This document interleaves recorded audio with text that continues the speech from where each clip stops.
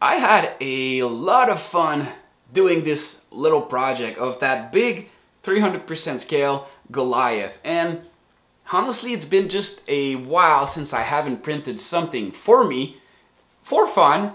I've been just doing recently like print tests, prototyping, research, uh, test and test and more tests and printing something fun like that brought me back to my passion of, of 3D printing, which is something I need to keep in mind and keep having fun. So I'm gonna do more and more of these kind of projects. And as you saw in the video, there are all also some new kind of time lapses that I make now. And I bought myself a camera slider, so I have new gear um, to make cool time lapses. So uh, if you enjoyed those time lapses, just drop me a, a comment down below. I'll, I'll try to do more because I I love doing that. I'm a passionate photographer, so mixing the two passions together, 3D printing and photography, is something natural for me and I, and I really enjoy doing that.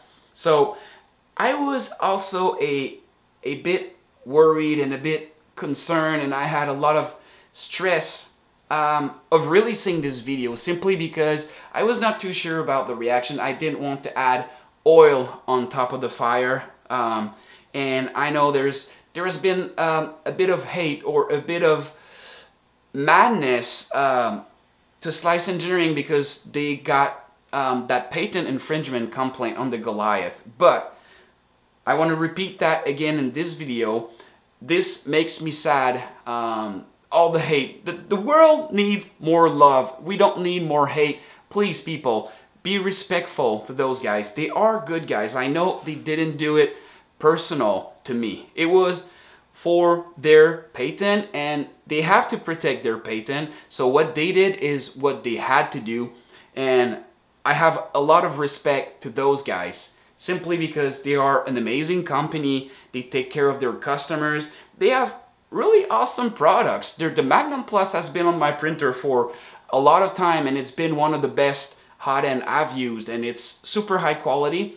And another reason why I have a lot of respect for them is because they make their stuff in their own country and they're proud of it and they encourage their local economy for that and that is something really cool. I wish I could have done that with that um, Goliath but um, in Canada um, that's why the prices of the the magnums and the mosquitoes are are a bit higher because it's really really hard to compete with China manufacturing. They're just awesome in, in, in China for that. Um, lots of reason that we won't uh, discuss today, but yeah, it's really hard to compete with China, but they decided to make their product in their own country. And Slice, you have all my respect for that. So um, nothing personal. I'm not mad at you. I'm not. I'm. I'm. I was mad at the situation. I was sad at the situation, but um, it's it's all good. It's friendly competition, and and that's how it works. And this is a little wink back at you guys. Uh, nothing personal. I was just messing with you. It's the official mosquito hunting season because we are releasing the Goliath soon with a patent-friendly design. Hopefully that's going to be that's going to be um, doable and we're, uh, we're working on it right now so it's going to be released soon. Don't worry guys, it's coming.